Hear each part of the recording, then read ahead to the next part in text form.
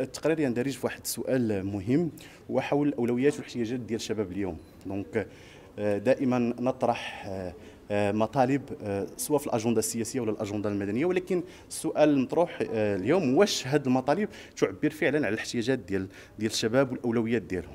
donc انطلاقا من هذا فهم الأولويات ديال الشباب باش ما نكونوش نعبروا في بلاصتهم بلا ما نرجعوا لهم. donc انطلاقا من هذه العملية درنا واحد الدراسة اللي فيها تسع مناطق في المغرب فيها أكثر من 1300 شاب فيها أكثر من 124 سؤال تتناول قضايا اقتصادية واجتماعية فيها أكثر من 1300 شاب. donc آه، تيجاوبوا على هذه الأسئلة اللي آه، ممكن من خلال اطلاعكم على الدراسة غنشوفوا أنها ترتب أولويات اللي آه، ما كايناش في غالب الأحيان في الأجندة ديال الفاعل السياسي.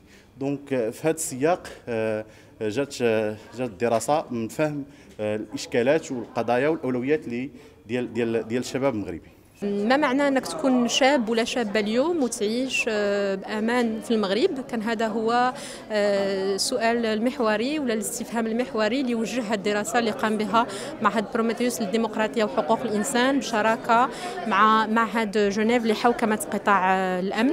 واللي الهدف ديالها هو نفهموا تمثل الشباب الأمان الإنساني والمخاطر الاقتصادية والاجتماعية والسياسية والبيئية اللي كيواجهوها.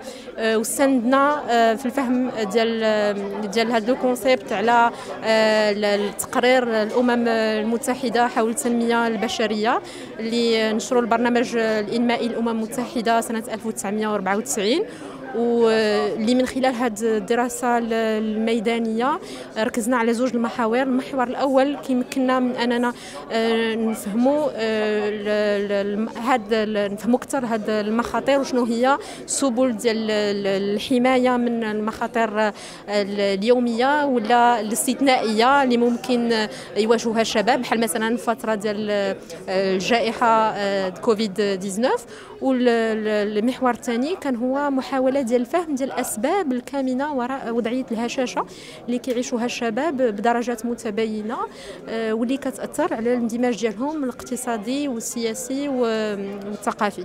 اذا هذه الدراسة الميدانية آه، استحضرنا فيها مناهج العلوم الاجتماعية واستهدفنا بها أكثر من 1300 شاب وشابة كتراوح الأعمار ديالهم من 18 و 34 سنة.